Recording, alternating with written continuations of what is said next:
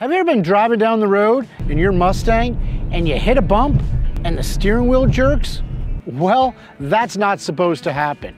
That's called bump steer. And at Steeda, we've got a simple fix to eliminate that.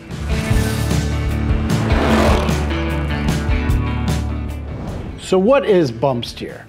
Well, quite simply put, if you're ever driving down the road in your vehicle, car, truck, SUV, and you hit a bump and your steering wheel moves, that is bump steer. You hit a bump and now your steering wheel moves. There's simple ways to correct bump steer. Now over the years, they've gotten better from the factory. But once you start modifying your vehicle, say lowering springs, it's one of the first mods so many customers do. Now you're changing your front end geometry and it's going to introduce more bump steer. That's where the Steeda bump steer kit comes in. What happens is, is that when your lower control arm and your steering rack tie rod end are on different planes, when you go over a bump, there's going to be a change in your toe. That makes your steering wheel move. So what the Steeda kit does is it replaces your outer tie rod ends of your steering rack and gives you an adjustable unit. So you can stack spacers and you can make sure your steering rack and tie rod end are completely parallel with your lower control arm. Now this is our brand new S650 kit and the whole kit is different. As with anything, when Ford changes a car, comes out with the new S650, they make things better. At first we thought they were using the spindles off the GT350 in the front, but they're not. So required a brand new tapered stud. Now, some of the other kits on the market include just a bolt, and they make you drill out that tapered stud. Well, it's your steering. Ford puts a taper lock in this for a reason. You don't want it coming loose. So no expense is spared with this. We start off with 4140 chromoly steel. We then machine it to exacting tolerances. We then send it out and get it heat treated. After heat treated, it goes and gets black zinc plated and baked to maintain the proper hardness that we spec'd out. Now we've been making these for the Fox bodies, to the new edges, to the S197s, S550s, and now the S650s. It is simply the best kit on the market. Like I said, you can't get any better than our stud. We also use lock nuts, nylon locking nuts.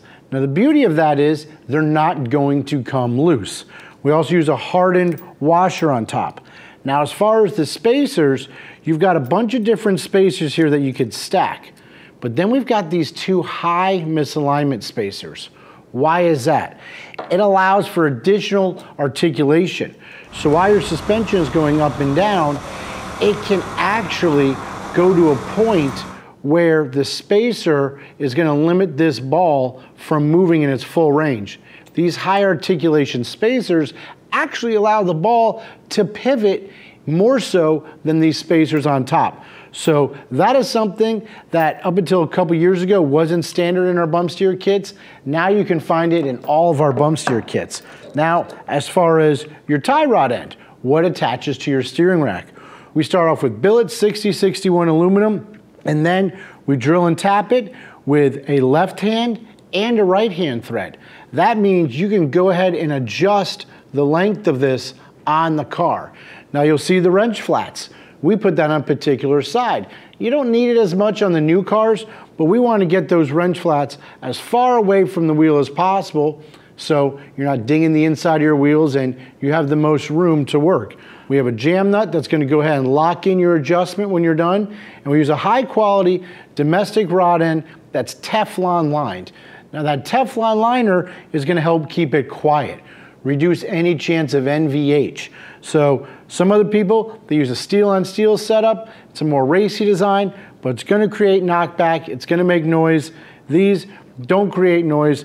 And like I said, they're Teflon lined. So who needs a bump steer kit? Quite honestly, you can tell. You're the end user. If you go over a bump or a pothole on one side of the road, does your steering wheel move a little bit? That shows that you can correct that by adding a bump steer kit. Now these are mostly found with people, like I said, that lowered their Mustang or like to take it out there and autocross or track the car. But it's also a very important part for drag racers too, because you have a tremendous change in your front ride height when you launch your car. And typically speaking, your wheels might want to toe in or out. By having a bump steer kit and keeping those two planes parallel when you launch the car, it's going to prevent the wheels from toeing in or out. And as far as drag race is concerned, that's important because whether you're lifting the tires off the physical pavement or you're just extending the front struts, a change in toe is going to scrub speed, which is going to increase your lap time to slow you down. So important in drag racing, important if you lowered your car. Let's face it, if you road race or HPD your car, it's an absolute must have. The other thing to keep in mind, when you do do this, if you're not experienced with setting your own toe in the garage, you're going to want to get in alignment afterwards. But like I said, this kit works wonders. It's going to greatly improve your driving experience. And once again, not give you a bump steer when you're going over bumps or uneven surfaces. So it's going to give you a lot more confidence as a driver. They're 100% made right here in Valdosta, Georgia. And as all of our Steeda parts, carry our limited lifetime warranty. To show you how it is to install one of these kits, we're gonna head out back and we're gonna install this on our 2024 Dark Horse. Here are the tools required for the job. Start by removing the front wheels. Use an adjustable wrench to loosen the jam nut on the tie rod. Don't loosen it too much as you want to minimize the alignment changes when you add the Steeda tie rod end. Then the 18 millimeter nut on top can be removed. Carefully use a hammer to knock the tie rod end loose. And you can now remove the OEM tie rod end. Just unscrew it and we're going to drop it on the floor. Get the new Steeda rod end in place, but not fully against that jam nut yet. The new stud can go into the spindle now and use a nut and washer to secure it in place. Using a wrench in a 19mm socket, tying down the nylock nut. You may have to adjust the center of the heim joint to line it up with the stud. This can be done with a wrench or a screwdriver. For our application, we use the largest spacer up top along with one of the high articulation spacers going against the rod end. Now, make sure you use the high alignment spacer against the bottom of the rod end and the rest of the spacers will go below it and secure it with the nylock lock nut. Now go ahead and tighten it all down. You're going to want to torque the bottom nut to 50 foot-pounds. The top nut can now be torqued to 40 foot-pounds. Go ahead and repeat that process on the other side, and we'll get it over to the alignment rack to go over the basics of how to adjust your Steeda bump steer kit. Now that we're over here on the alignment rack, this is where you're gonna do your fine tuning and adjustment. Now, like we had mentioned, the goal here is to make your steering tie rod end parallel with this control arm here. As you can see, it's pretty close. Now to change that, you're gonna move spacers from the bottom to the top or vice versa. Now, to get the ultimate reduction in bump steer, the best method for this is to bring your car and have it on a set of rotating pads. This way, at static, eyeballing it with as parallel as possible, we're gonna go ahead and check the toe. Then what we're gonna do is we want to compress the suspension by about an inch. Check the toe. It's going to have a slight change to it. Look at the difference. Now, move some spacers, typically from the top to the bottom, or vice versa, to make that toe change as little as possible. This is where you're gonna have some trial and error. Check it at static, check it at inch compressed. The least amount of toe change is gonna result in the least possible bump steer on your vehicle.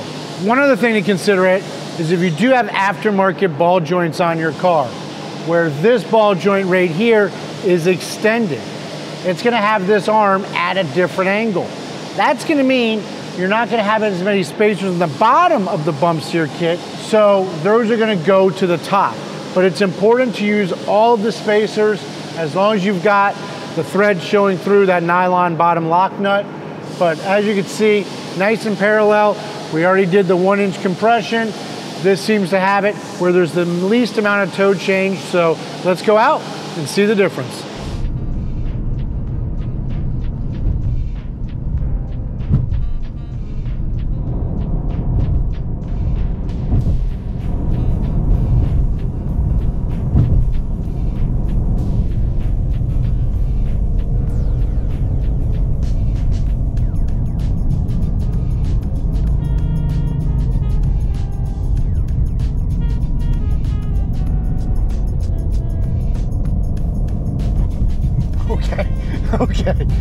As you can see, installation was pretty simple. Now we do give you a wide variety of spacers, anything from 200 thousandths down to 60 thousandths. Now in our specific Dark Horse, with our dual rate lowering springs, that 200 thousand spacer was used up top. Now if you're used to going to the track and changing your camber, this might be something you can do at home. Otherwise, we suggest doing it yourself and immediately taking it to an alignment shop to make sure your toe is spot on, which is going to reduce bump steer, give you better overall feel driving your car. And if you're like us and like to push your car to the limits, it's gonna give you a lot more confidence when you're going over uneven surfaces and throwing your Mustang in the turns. So hit like, subscribe, follow us on Facebook, TikTok, Instagram, YouTube, and remember, Steeda, where speed matters.